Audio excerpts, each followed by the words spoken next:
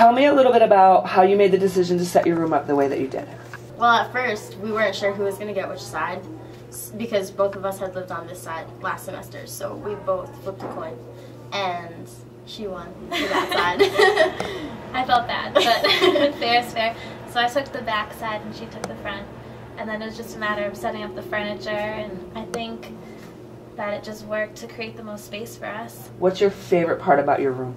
My favorite part, I think, is all the pictures that I have.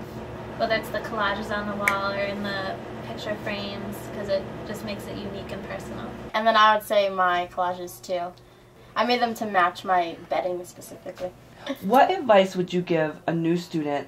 I'd have to say, room wise, like decorating, um, a lot of it you can do yourself. You don't have to go out and spend tons of money. You can make things like Lex did. She made all her collages and just do it how you want.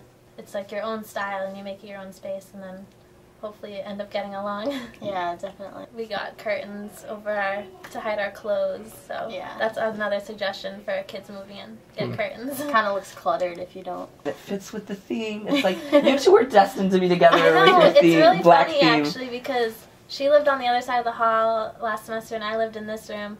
We didn't really talk a lot, but we knew each other. And then when we decided to move in together, we realized that we both had everything black and white and zebra print, and then she was purple and I was pink. Yeah. So it kind of fits exactly together.